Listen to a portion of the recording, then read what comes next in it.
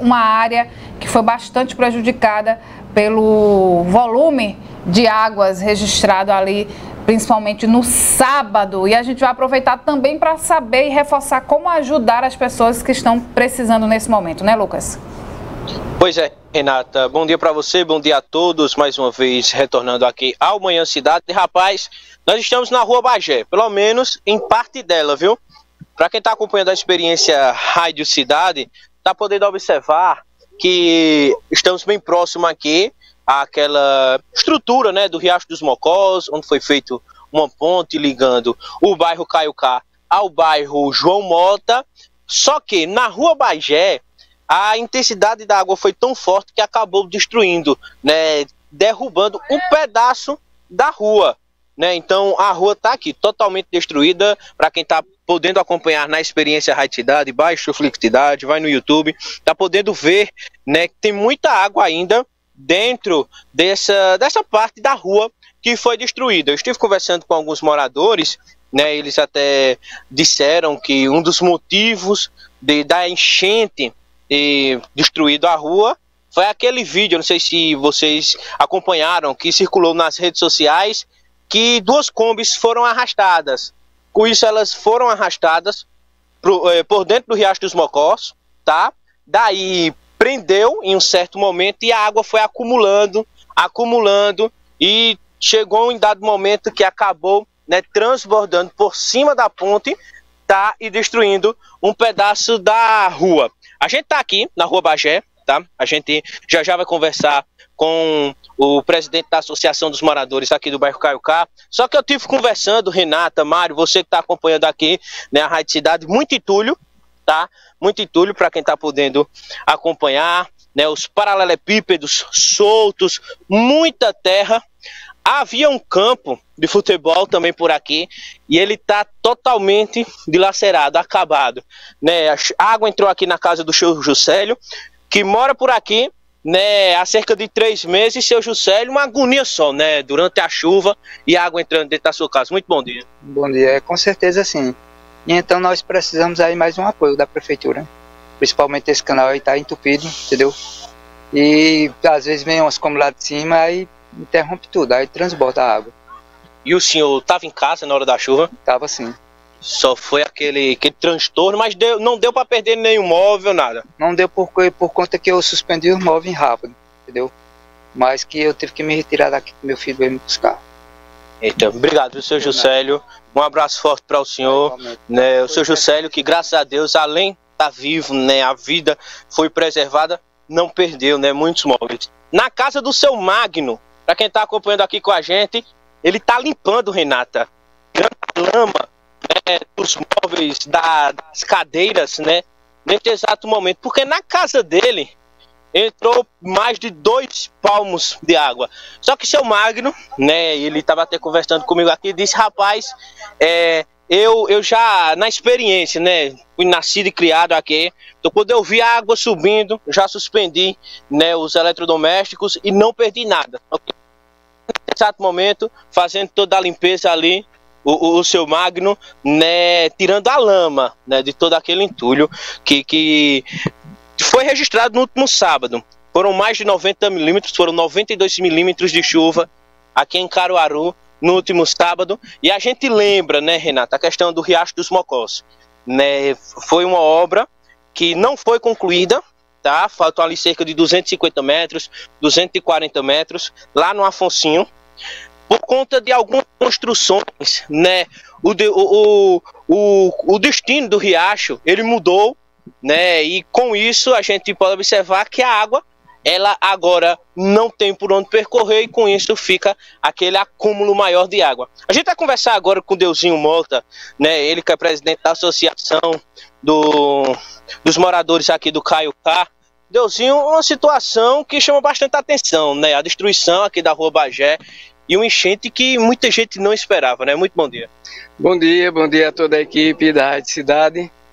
Bom dia, Lucas, e a menina que está aqui, né? Como é o Juliana. nome? Juliana. Olha, vê só, essa, essa situação se repete, de vez em quando se repete. Faz dois anos que aconteceu essa mesma coisa aqui, só não danificou assim a ponte, né? Mas a, a água entra nas casas, é, destrói tudo que tem dentro de casa, é destruído, como tá essas, esses moradores aqui tiveram esse prejuízo.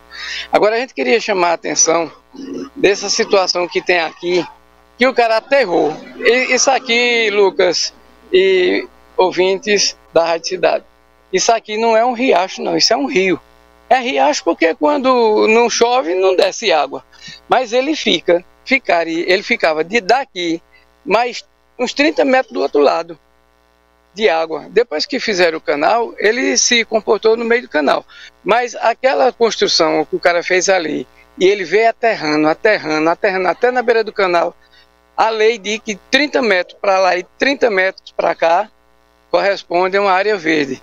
Não era para ser feito aquilo ali. Então, quando a água vem, bate lá e volta, invade as residências. Aí é uma situação muito crítica. Outro, outro problema muito sério também é um ferro velho que tem ali na entrada do João Mota. Aqui ficou duas Kombi e um carro enganchado aqui, fechando a passagem da ponte. No que fecha a passagem da água, aí a água invade as residências todinha aqui. Então isso é para ser, é, ele se conscientizar lá. E a prefeitura, através da, da Secretaria de, de Infraestrutura, né, vê lá para ele não colocar mais esses automóveis lá, porque toda vez que acontece, são arrastados e aí chegam aqui na entrada da ponte fica prejudicando a passagem da água. Ações precisam ser tomadas, né, Deusinho, para que isso não volte a acontecer. Ah, é claro. É, a gente sabe que a natureza ela procura o espaço dela. Quando você é, intervém nela, ela vai procurar outro espaço. E esse outro espaço que procura é exatamente esse: destruir as casas que está às margens, a ribeirinha aqui do canal do Mocó. É, obrigado, Deusinho. A gente agradece aqui a sua participação. A água invadiu bastante, viu? Um palmo na casa do seu Juscelio, mais de dois palmos na casa do seu Magno, né? A casa do seu Magno é numa parte alta, né? E depois de toda essa situação, ontem, Renata, o Transforma Caruaru lançou uma campanha para arrecadar donativos para essas pessoas que foram vítimas tá, né, de alagamentos no último sábado.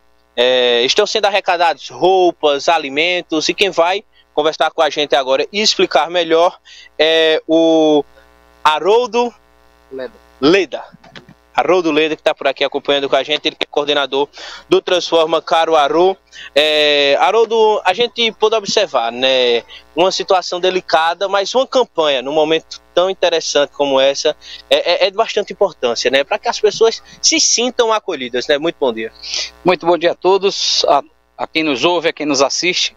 É importante todo mundo se mobilizar, é, porque nós nós tivemos aí muitas famílias que ficaram desabrigadas, né, sem ter até o que comer. Então, é, diante disso, nos mobilizamos o Transforma Caruaru, é, junto com os seus parceiros, como Rotary Club, Cindy Lojas, Lions e outras instituições, é, se reuniram para poder ajudar. Então, a gente está arrecadando donativos, arrecadando água mineral, alimentação pronta. Então, ontem já começamos um mutirão durante o dia todo.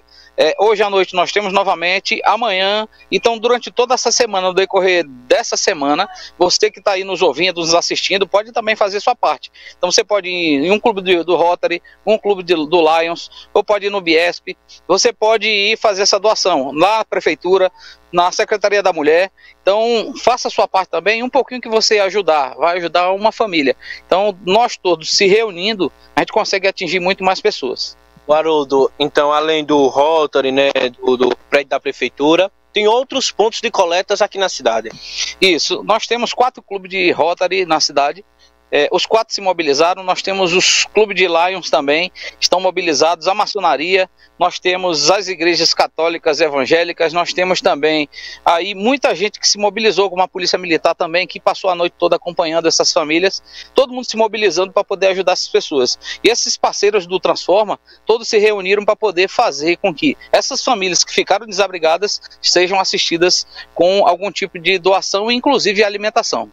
Obrigado, Haroldo. A gente conversou com o Haroldo Leda, ele que é voluntário do Transforma Caruaru. Então, você que está interessado e quiser fazer sua doação, pode doar na loja do bem, tá? Que fica no terceiro andar do shopping Difusora, bem próximo ali à lotérica, no prédio da prefeitura de Caruaru, na Praça Teotônio Vilela, no bairro Nossa Senhora das Dores, no centro da cidade, no Rotary Club, na Avenida Venezuela, número 47, no bairro Universitário, no Lions Club, na Rua Suíça, também no bairro Universitário, e no prédio da Secretaria de Políticas para as Mulheres, que fica na Rua dos Expedicionários, no centro de Caruaru, bem próximo ali ao Banco do Brasil, tá? Outra forma de doar é por meio do Pix. Você quiser fazer a doação por Pix, pode fazer pelo transformacaruaru@gmail.com. Essa é a chave Pix para que você também possa fazer a sua doação. Mário, Renata.